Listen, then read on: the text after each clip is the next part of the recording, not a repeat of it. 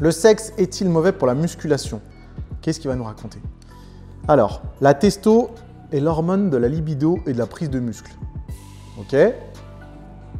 Lors de l'entraînement, elle augmente et après l'acte sexuel, elle chute, mais revenant à la normale. Elle augmente aussi beaucoup pendant l'acte. D'accord? Où veux-tu en venir, mon gars? Donc, pas de conséquences sur les muscles. Le sexe libère des hormones de détente, d'apaisement. Ainsi, il vaut mieux éviter juste deux heures avant l'entraînement. Ok À part cela, pas de contre-indication. C'est tout Frérot Putain, je pensais qu'il allait nous donner des conseils incroyables. Bon, euh, que dire de ce genre de choses? Pour parler de manière très scientifique, on n'a pas vraiment d'études qui nous disent comment se comporter avant ou après une séance d'un point de vue sexuel. Donc, il euh, n'y a pas vraiment de recommandations. Après, vous avez toujours, je pense, hein, entendu le genre de mythe des sportifs de haut niveau qui évitent euh, tout rapport sexuel quelques jours avant une compétition ou un événement sportif. C'est un peu une idée reçue, après c'est carrément rentré dans les mœurs. Donc, il n'y a pas de recommandation particulière. Mais effectivement, comme ça peut potentiellement libérer des hormones qui encouragent la relaxation, c'est peut-être pas top juste avant une séance de musculation. Bon, vous en avez été témoin, Internet, ça regorge de conseils pour prendre du muscle et améliorer ses performances. Mais la plupart ne sont pas forcément très fiables ou pas forcément très utiles, comme vous avez pu le voir ici. Mais je veux pas être mauvaise langue, donc on va analyser quelques vidéos sur l'entraînement et la nutrition pour voir ce qu'il en est réellement. J'espère qu'il en ressortira de bons conseils. C'est parti. Moi les gars, perso, une petite technique. La meilleure technique pour mieux ressentir son grand dorsal en muscu. Alors ça, ça je veux écouter, j'augmente le son. Je fais le dos pour bien bien ressentir mes grands dorsaux. J'hésite pas à étirer mon mouvement, à vraiment aller chercher loin sur tous mes moves. J'essaye vraiment d'étirer à max mon grand dorsal. Perso, c'est une technique, ça me fait beaucoup mieux, mais vraiment beaucoup mieux recruter mon dos. Pour l'instant, rien à dire. Montre-nous de quoi tu parles. Je vais vous montrer sur mes prochains exos. Mais plus vous étirez, plus vous laissez aller devant vos bras, mieux vous allez recruter, ressentir votre grand dorsal. Alors déjà, c'est très mal formulé. Ceci dit, effectivement, plus il y a d'étirement et plus le potentiel d'hypertrophie est important mais c'est quand même très mal formulé. On va voir ce qu'il euh, recommande comme mouvement. C'est un type que je donne à plein de mes coachings. Quand ils ont du mal à sentir leur dos, je leur dis de faire ça et ils ont des bien meilleures sensations. Et c'est hyper important. Alors je suis pas tout à fait d'accord parce qu'il y a plus de chances d'avoir de meilleures sensations sur un exercice de contraction plutôt que sur un exercice d'étirement. Je vous dirai exactement pourquoi après avoir vu ce qu'il recommande. On laisse bien revenir le bras devant pour étirer le grand dorsal. Ok? Je me suis tué. ouais en revanche, inutile de trop tirer en arrière du mouvement car on ne recrute, pas plus son dos. C'est encore assez mal formulé. Mais ceci dit, il a raison. Ok. Est-ce qu'on a un petit conseil euh, de plus? Oh, Je me suis tué. Il est cool le ressenti. Bon, ce qu'on en retirera de ce réel, c'est qu'il s'est tué et que le ressenti est cool. Attention, je vais euh, commenter en deux parties. Première partie, attention, le ressenti ne donne aucune info concrète sur le recrutement ou le non-recrutement d'un groupe musculaire. Alors, ça ne veut pas dire qu'il faut totalement oublier le ressenti, hein. mais certaines personnes, en l'occurrence les débutantes ou celles qui ne sont pas encore très habituées à la musculation, peuvent ressentir des choses qui n'ont pas de sens. Ça m'est arrivé d'avoir des personnes euh, sur du coaching qui ressentaient des triceps sur du développé couché, ou qui en tout cas arrivaient mal à cibler exactement la partie qui leur faisait mal entre guillemets. Donc le ressenti, la sensation, c'est bien, mais uniquement quand on est très, très, très entraîné et qu'on est très à l'écoute de son corps. C'est pas valable quand on commence la musculation. Deuxièmement, je trouve que c'est un mauvais conseil d'encourager les personnes qui n'arrivent pas à ressentir un muscle d'aller chercher plus d'étirement. Comme je vous l'ai dit juste avant, vous avez plus de chances de mieux maîtriser un mouvement à forte tension de contraction qu'à forte tension d'étirement. Donc allez chercher l'étirement, ça va augmenter la tension d'étirement logiquement, et du coup vous empêcher de bien ressentir le muscle ou de bien recruter le muscle pour utiliser ces termes. Et ça, ça s'explique très simplement. Votre muscle dans cette position-là est désavantagé mécaniquement. C'est-à-dire que l'angle de tirage n'est pas l'avantage du muscle qui est étiré, et du coup il y a de fortes chances pour que vous utilisiez d'autres groupes musculaires pour les premiers centimètres du mouvement. C'est pour ça qu'on voit autant de personnes tricher sur le début d'une traction, sur le début d'un tirage vertical, en bas d'un développé couché, en bas d'un squat. C'est parce que tous ces muscles-là, ils sont désavantagés mécaniquement et c'est très très difficile d'arriver à les stimuler lorsqu'on n'a pas un maximum d'expérience et des groupes musculaires développés. Donc malgré une vidéo qui est très bien filmée, malgré un gars qui a quand même un physique impressionnant, le conseil, personnellement, j'aurais tendance à aller à l'encontre. La théorie du, steak en musculation. Qu'est-ce qu'il va nous dire, Denis? La théorie du steak en musculation. Allez C'est genre, si tu veux te, représenter que fait un kilo de muscle, t'achètes des steaks 5% là et tu te les colles en fait. pourquoi 5% Et pourquoi pas des steaks 20% Tu vois, genre, tu prends un steak de 125 grammes, tu te le mets sur le haut de pec. Tu vas voir que, mec, Dans votre spec, d'un coup, il va aller chercher beaucoup plus loin devant. Et c'est 125 grammes. Avec la petite musique de conspiration, 125 grammes. Attention Imagine ce que ça représente 1 kg de muscle. 1 kg de muscle, c'est énorme. Colle un steak sur ton, sur ton biceps, mec, tu vas voir, ça t'en rajoute des centimètres de tour de bras, tu vois. La théorie du, steak, elle te fait prendre conscience que pour rajouter du muscle, c'est un processus qui est extrêmement long. J'adore Instagram et les théories et avec les musiques euh, conspirationnistes. Ceci dit, il a totalement raison. Ça, quelques grammes, quelques centaines de grammes de muscle, ça change un physique, ça métamorphose un physique.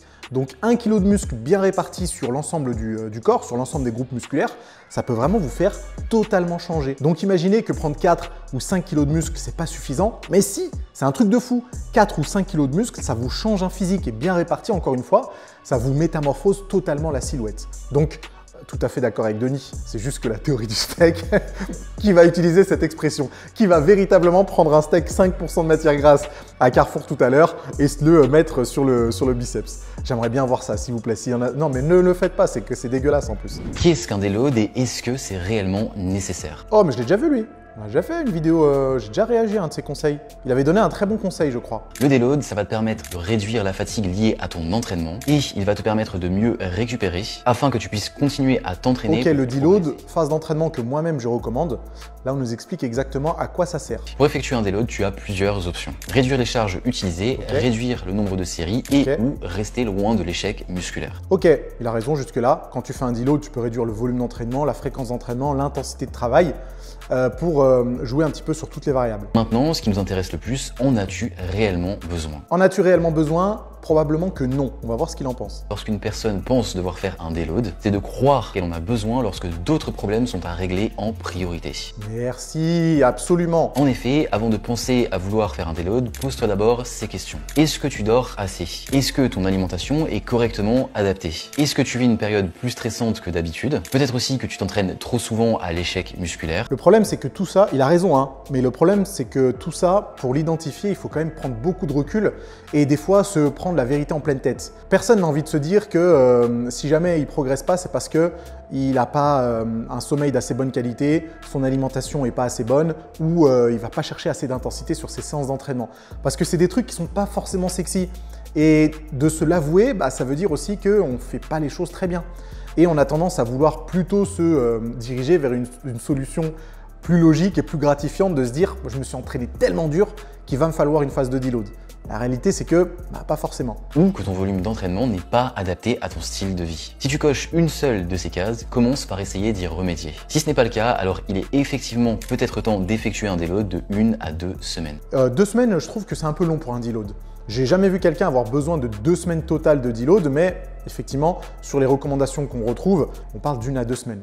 Mais encore une fois, avant de se poser la question ai-je besoin d'un deload Il faut se poser d'autres questions. Est-ce que je dors bien? Est-ce que je mange bien? Est-ce que je m'entraîne réellement avec beaucoup d'intensité? Et est-ce que mon programme est construit de manière cohérente? Jusque-là, on est d'accord. J'ai commencé à avoir des résultats à la salle à partir du moment où j'ai fait ça. Je suis toujours très sceptique sur les réels qui commencent comme ça parce que c'est une formulation qu'on retrouve souvent. J'ai commencé à avoir des résultats à la salle quand j'ai commencé à faire ça. Et en général, on a une recette magique qui marche pas forcément. On va voir si c'est le cas ici. Pas de mauvaise langue, on laisse sa chance au réel. J'ai commencé à travailler le hip thrust à la barre libre plutôt qu'à la machine ou alors à la guidée. On va aller jusqu'à la fin. On va aller jusqu'à la fin. Car il va travailler beaucoup moins en isolation et je veux pouvoir soulever plus lourd au niveau des charges. Faux, faux, faux, faux, faux, faux. Déjà, ça veut rien dire, il va travailler mieux en isolation. Déjà, la charge que vous utilisez sur du hip thrust charge libre et du hip thrust à la machine, elle ne peut pas être comparée parce que la machine est faite différemment et il suffit que le bras de levier soit légèrement éloigné de l'articulation de la hanche, donc l'articulation qui est mise en jeu pendant le hip thrust, pour que la charge que vous utilisiez sur une machine à hip thrust soit bien, bien, bien moins importante que celle que vous utilisez sur une charge libre. J'ai déjà vu des machines à hip thrust, je crois de la marque Matrix, où le poids était vraiment largement déporté euh, de l'articulation de la hanche, donc le bras de levier était très important, et que du coup la charge de travail était divisée par 2, par 3 ou voire par 4 par rapport à un hip thrust à la barre libre. Pour l'instant, c'est tout faux. Si tu débutes, tu peux aussi le réaliser avec une haltère car souvent tout est pris. Euh, ça c'est ok. Aucun problème. C'est vrai qu'on peut faire une variante avec halter, kettlebell, euh, si jamais la barre est prise et que c'est un peu chiant de se mettre en place. Ensuite, j'ai inclus le RDL pendant mes séances. Même si tu ne ressens pas tes fessiers, c'est un exercice avec une forte tension d'étirement. Ça c'est vrai. ça c'est vrai pour le coup. Rien qu'en retenant ta barre lorsqu'elle descend, ça va forcément venir travailler tes fessiers ainsi que tes ischios, même si tu ne les ressens pas forcément. Bon, elle a raison. Le RDL, le Romanian Deadlift, c'est pas un exercice que j'apprécie parce que souvent, les personnes ne savent pas faire la distinction entre soulevé de terre jambes tendues, Romanian deadlift et soulevé de terre classique. Pour précision, le Romanian deadlift, c'est un soulevé de terre où vous allez avoir une flexion de genou plus importante et du coup qui va plutôt cibler les fessiers. Soulevé de terre, jambes tendues, ischio. Romanian deadlift, plutôt fessier, même si les ischios vont travailler. Et euh, deadlift classique, ben, un petit peu toute la chaîne postérieure. Donc, elle a raison, le Romanian deadlift, c'est un super exercice pour les fessiers. Même si j'aurais tendance, pour les fessiers, à recommander plus un deadlift classique en faisant en sorte que euh, l'articulation de la hanche soit poussée le plus loin derrière. Ce qui, encore une fois, va augmenter le bras de levier et permettre d'avoir une meilleure stimulation sur les fessiers. Mais jusque-là, euh, c'est un très bon conseil. Ensuite, j'ai inclus des exercices d'isolation à la fin de ma séance, notamment le kickback. Maintenant, je préfère rajouter un step sur mon pied, ça me permet d'avoir une meilleure amplitude et mon pied comme ça ne vient pas racler le sol. Excellent conseil par rapport au step. Euh, après, il n'y a pas vraiment de façon de faire pour le kickback. Hein. C'est vous vous adaptez un peu comme vous voulez en fonction de la poulie, de la longueur de vos segments, de votre, euh, de votre capacité à avoir une bonne amplitude. Il y a des poulies, je pense surtout à celles qui sont à Fitness Park, où le cran le plus bas, il est quand même assez haut. Donc, potentiellement, vous êtes obligé de vous surélever avec un step. Par contre, là où je voulais euh, faire une remarque, exercice d'isolation en fin de séance. On a toujours tendance à traiter les exercices d'isolation comme des finishers, terme que je déteste, et comme des exercices qui sont moins efficaces que des exercices polyarticulaires. C'est faux. Les exercices d'isolation doivent être traités avec le même sérieux que les exercices polyarticulaires ou les exercices où vous pouvez mettre plus de charge de travail. Parce que techniquement, s'ils sont bien réalisés, bien programmés, bien choisis, ils peuvent provoquer autant de tension mécanique et donc autant de euh, croissance musculaire. En fait, ce serait comme dire que euh, les élévations latérales pour les épaules, c'est pour les deltoïdes, pardon, c'est moins efficace que du développé militaire. Non, c'est juste un exercice différent. J'ai aussi inclus des exercices de fente, alors soit fente bulgare ou alors des fentes unilatérales avec un déficit. J'aime beaucoup faire ce genre d'exercice à la Smith Machine, ça me permet d'avoir un meilleur équilibre et un meilleur contrôle sur mon mouvement. Bah, le problème, c'est que choisir un exercice qui est connu pour son instabilité, fente bulgare, fente en déplacement, etc.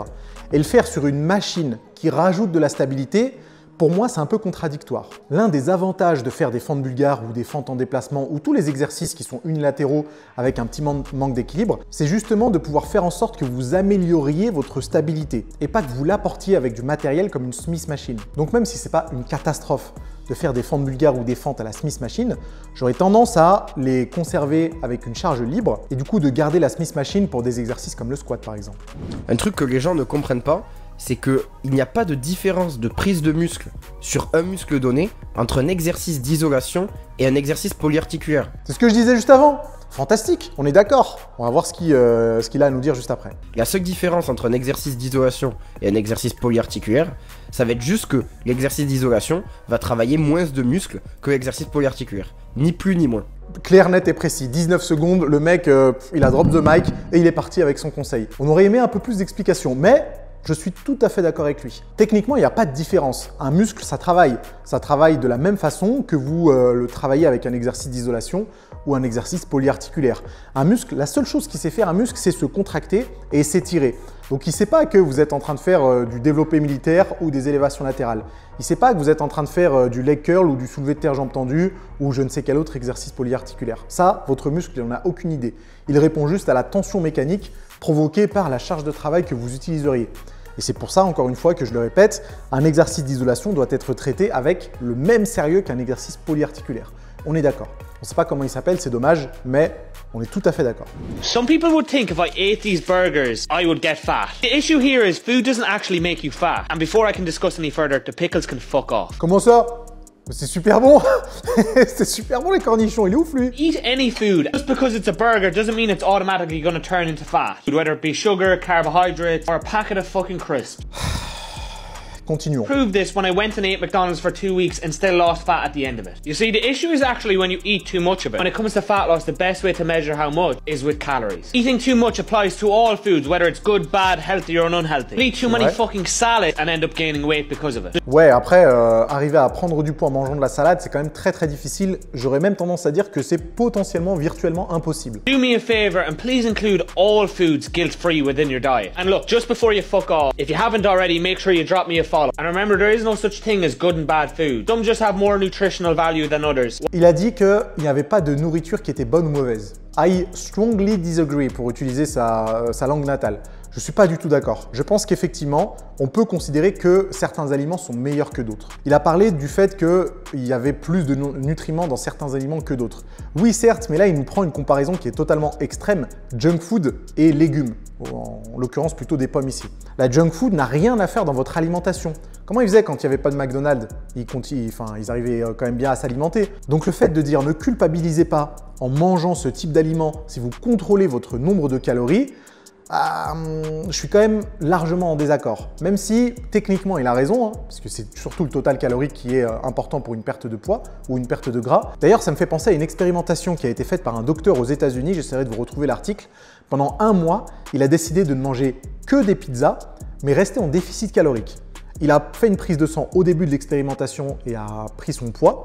Il a fait la même chose à la fin de l'expérimentation. Après avoir fait un mois de déficit calorique en mangeant exclusivement des pizzas, tous ses marqueurs de santé s'étaient améliorés il avait perdu du poids. Pourquoi ces marqueurs de santé s'étaient améliorés?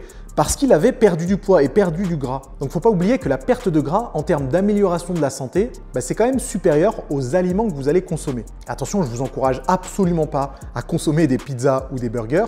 Et l'idéal, ce serait de faire les deux en même temps, arriver à perdre du poids, perdre du gras avec des aliments bruts et un minimum transformé. Mais vous avez compris le délire. C'était une expérimentation pour faire parler de lui et il a réussi. Donc là, pour le coup, tout à fait en désaccord. Dans la mesure du possible, je vous encourage à supprimer tous les aliments qui sont ultra transformés. Alors bien sûr, on essaie de garder un peu de nuance. C'est pas un burger ou une pizza ou un pot de glace qui va tuer votre santé, mais on devrait tous aspirer à consommer le moins possible de ce type d'aliments. Alors, ce que tu penses qui crée du muscle, ok, répétition normale, versus ce qui en crée vraiment. D'accord. J'aurais aimé avoir la description de ce réel parce que je suis presque persuadé que cette personne nous dit dans la description ta dernière répétition devrait ressembler à ça.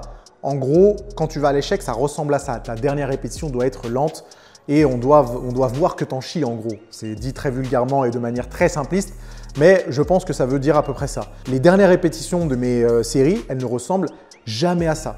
Je mets jamais autant de temps à faire une, une répétition, alors que je vais souvent à l'échec, ou en tout cas, je m'en rapproche pas mal. Donc l'image que vous renvoyez quand vous vous entraînez, en fait, ça peut pas être un indicateur précis, ça peut pas être un indicateur concret de l'intensité de vos séries. Alors je dis pas qu'il faut pas ressembler à ça ou qu'il faut ressembler à ma manière de m'entraîner. Je dis juste que c'est comme la sensation, ça veut tout et rien dire et du coup c'est difficile d'en euh, tirer une conclusion qui est vraiment concrète. Même si au final ça a l'air de très bien marcher pour elle, donc à partir de là il n'y a aucun souci. C'est de la drogue, Sébastien.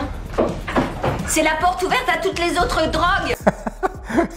C'est exactement ce que ma mère m'a dit quand j'ai ramené mon premier pot de créatine. Mais imaginez, je crois que j'ai pris de la, créatine pour la première fois en 2009, un truc comme ça. Donc c'était il y a un petit moment. hein. Et on n'était pas encore euh, aussi euh, renseigné sur les compléments alimentaires.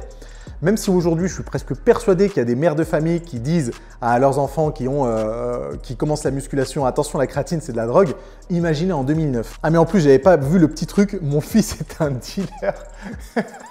est un dealer de créatine. Je pense que les compléments alimentaires auront toujours cette, cette image de produits dopants et que l'association sera probablement toujours faite. Malgré toute l'éducation qu'on pourra en faire, les compléments qui sont très typés musculation, genre euh, créatine, pré-workout, protéines, etc., même si au final c'est pas bien différent que du zinc et du magnésium qui sont plus populaires ou en tout cas moins associés à des produits dopants, bah, malheureusement ça, ça aura toujours cette image. Mais il faut pas que sa maman s'inquiète, la créatine c'est pas du dopage. Ça, c'est les calories que tu consommes. Et ça, c'est les calories que tu dépenses. Si tu réduis les calories que tu consommes, tu as un écart entre les deux et c'est ce qu'on appelle un déficit calorique. J'aime bien les réels comme ça qui sont très visuels et euh, où on peut vraiment, où les personnes illustrent carrément leurs propos pour qu'on puisse les comprendre un petit peu mieux.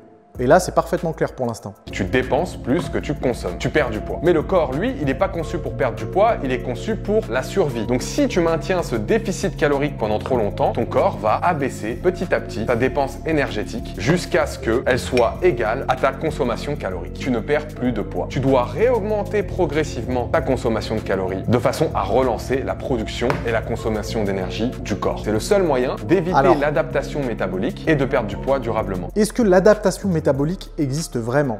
Est-ce que le corps peut se mettre en mode survie? Vous connaissez un peu ce terme. Et beaucoup de coachs l'ont euh, mis en avant pendant très longtemps, un peu moins aujourd'hui, en partant du principe que si vous êtes en déficit calorique pendant trop longtemps, et si le déficit calorique est trop sévère, votre corps va se mettre en mode survie et du coup réduire votre métabolisme de base pour que vous ne perdiez plus de poids. Alors il semblerait que l'adaptation métabolique existe, mais qu'elle ne soit pas aussi importante que beaucoup le laissent penser. C'est-à-dire que si votre métabolisme de base, c'est 2000 calories par jour, il y a vraiment peu de chances pour que votre métabolisme de base descende à 1000 calories, donc se réduise de 50%. C'est très très peu probable, voire même impossible. Il se peut par contre qu'il y ait une petite adaptation de 5, 10%. Mais au final, c'est pas grand chose et c'est probablement pas ce qui explique que vous stagniez après un déficit calorique trop long. Par contre, et ça c'est prouvé, il n'y a pas que le métabolisme de base qui rentre en jeu.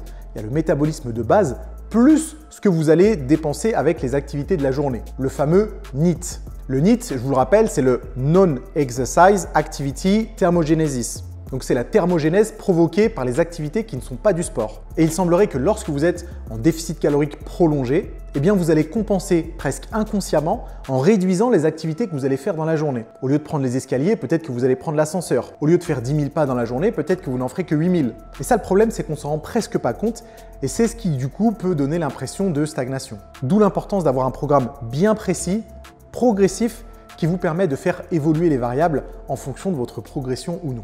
Les choses que j'aurais aimé savoir au début de ma perte de gras. Le Stairmaster transformera ton corps. Trois fois par semaine, 25-30 minutes. Et oui, il peut vous faire avoir des abdos. C'est ça son seul conseil? C'est juste ça, le réel. C'est nul. C'est nul. Alors le Stairmaster c'est pas magique, hein. c'est pas mieux que euh, la marche rapide, c'est pas mieux que la course à pied, c'est pas mieux que le rameur, le skier, le vélo. Tant que vous faites une activité physique qui permettra de provoquer une dépense calorique, on est bon. On est bon, ça va transformer votre corps potentiellement. Donc ça marche pour, euh, je sais pas moi, de la danse, ça marche pour de la boxe, ça marche pour absolument tout qui vous fera dépenser de l'énergie. Donc non, le Stairmaster n'est pas magique. Peut-être que la dépense calorique provoquée par un Stairmaster, effectivement, est assez conséquente pour faciliter le déficit calorique, mais en aucun cas c'est quelque chose de magique. Les supersets, faut arrêter. Pour prendre du muscle, il n'y a rien de plus optimal que de faire tes exercices séparément et en prenant un temps de repos suffisant entre les séries pour récupérer de l'ATP, ton énergie. Comment ça? Sur les réseaux, je vois des mecs qui te préconisent de faire 5 supersets pour une séance pecdo en prise de masse. J'ai envie de m'arracher les cheveux. Déjà, d'un, comment tu veux progresser sur des séries à rallonge sur deux groupes musculaires aussi énergivores? En plus, sur le long terme, tu vas accumuler beaucoup de fatigue nerveuse. De deux, c'est logique que si tu commences toujours ton superset par le même muscle, ton deuxième muscle il va être travaillé avec moins d'énergie. Donc sur le deuxième muscle, tu moins lourd et moins donc progression ralentie, création de retard par exemple. Après oui, avant qu'on me tombe dessus, les supersets ou biceps sont intéressants dans un but de gain de temps. Si tu fais peu de séances dans la semaine et qu'elles sont en plus relativement courtes, tu n'auras pas le choix que de bosser en superset pour faire un maximum de zones musculaires et d'exercices. Alors, on tombe dans l'écueil du je vais critiquer une euh, technique d'intensification juste pour critiquer une technique d'intensification. Même si en soi, effectivement, on peut développer un physique incroyable sans jamais toucher de superset de sa vie. Et c'est valable pour toutes les autres techniques d'intensification. Série dégressive, rest pause, cluster, je ne sais quoi, triset, euh, giant set. Vous pouvez ne pas en faire de toute votre vie et avoir un physique incroyable. Sauf que les techniques d'intensification, en fait, c'est juste des outils que vous pourrez utiliser à votre guise en fonction de vos contraintes et de vos, euh, objectifs. Et lorsqu'ils sont bien programmés, bah, ils peuvent être intéressants non seulement pour gagner du temps, mais potentiellement pour certains groupes musculaires pour provoquer une croissance musculaire qui peut être significative. D'ailleurs, il y a des études qui le montrent, je vous mettrai le lien en description, que lorsqu'on travaille deux muscles antagonistes en superset, eh bien ce travail en superset à lui seul permet une croissance musculaire significative, potentiellement supérieure aux mêmes deux exercices qui auraient été faits l'un après l'autre. Alors je sais que ça peut paraître contradictoire par rapport à ce que j'ai dit juste avant, qu'on peut développer un physique incroyable sans superset. Mais il faut bien réaliser que la prise de muscle, elle peut intervenir dans beaucoup de cas de figure différents. Elle peut intervenir avec des récup courtes, avec des récup longues, avec des séries courtes, avec des séries longues, avec des poids légers, avec des poids lourds, avec du split, avec du full body, avec du push-pull legs, avec des techniques d'intensification ou sans technique d'intensification. Donc là où je suis d'accord avec lui, ne vous reposez pas exclusivement sur des supersets et faites l'effort de bien les programmer parce qu'effectivement, si vous les programmez de la mauvaise façon, il se peut que l'un des groupes musculaires soit laissé pour compte. Mais effectivement, les supersets, ça peut être intéressant pour gagner du temps, ça peut être intéressant pour provoquer une dépense calorique plus importante, et puis ça fait pas de mal pour la prise de muscle. Ce qui me gêne, c'est pas forcément les conseils qui sont donnés, parce qu'en réalité,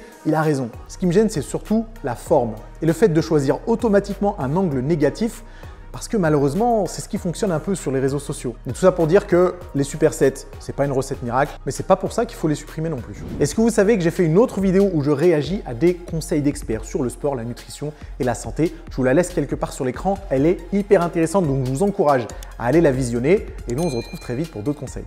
A plus